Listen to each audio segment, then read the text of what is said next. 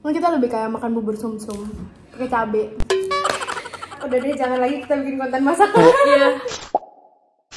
Hai. Hai hai. Kita sepi banget. iya, jadi kita tuh tim mager. Ya. Kayak yang lain tuh pada ke akuarium, terus kita di rumah aja. Terus kita sekarang mau ngapain? Kita mau bikin seblak karafael.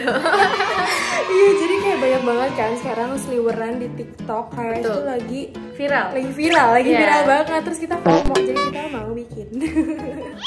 nah kita udah bikin, udah beli bahan-bahannya. Yes. Dan ini Karara udah ngerebus kerupuknya. Rendem. Oh iya, ngerendam kerupuknya. Sini ada cabe, ada? Nggak tahu juga gitu sih. Nggak tahu. Kebalik. Tuh ini Jadi sekarang kita mau ngapain? Jadi kita mau mulai sama kayak motong-motongin bawang putih sama cabai-cabainya gitu. Kita copot-copotin dulu tangkainya. Apa bisa di blender juga ini ya tangkainya? Apa ya? Jadi aku sekarang mau blender cabenya. Eh gimana sih? Oh. Tiga. Wah, eh, eh dipegangin terus dipegangin. Oh, Kok gak keblend? Wow. Uh, mana nggak keblend sama sekali? Kayak gimana ya? Apa kita ulek pakai sendok? Jadi ini kita penyet ulek sambal tanpa ulekan. Aduh, nggak ada yang hancur lagi. Oke, jadi kita sekarang mau menuang minyak. Ini very important step. Yes. Ini yang menentukan kalau ini bakal berhasil apa enggak. Oh, tuh. Kita dulu. Aduh, aduh, aduh. Ah, ah, kecipratan. Aduh, aduh, aduh. Gimana? Ah! Aduh, juga. Ini tinggal kita aduk-aduk aja. Menurut kalian apakah ini enak berhasil? Ini babak penentuan. Cabenya masih keras ya. Nah, jadi ini tuh sebenarnya udah direndam kan. Maksudku tuh merendam ini biar kita ngerebusnya nggak terlalu ram- lama gitu. A few moments later. Ih, benyek.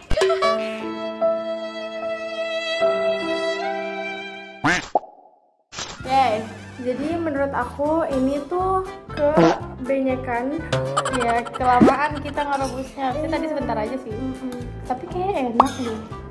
Iya, kita makan kerupuk benyek. Yes, oke jadi ini babak penentuan. Mari kita coba. Apakah saya sih bakal dulu nggak apa eh Tapi kok kakak Kak Rafael tuh masaknya bener-bener bisa menarik gitu loh. Kalau kita hasilnya kenapa kayak gini? hmm. Eh, rasa asinnya kurang sih.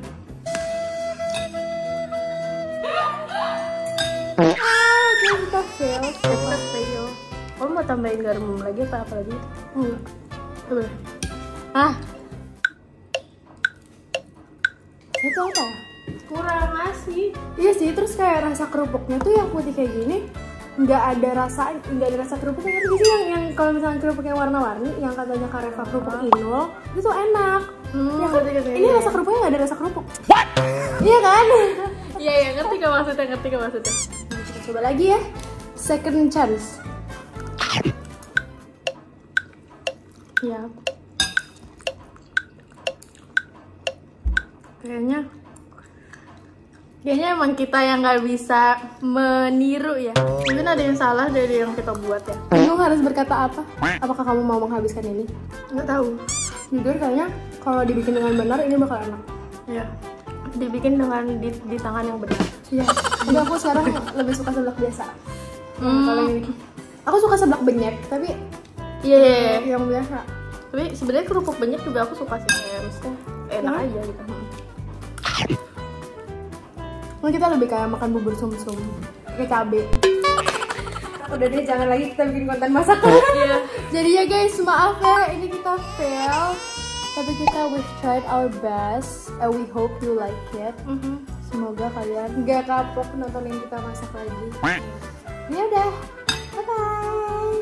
Jangan lupa like, comment, and subscribe. Oh, see you in the first.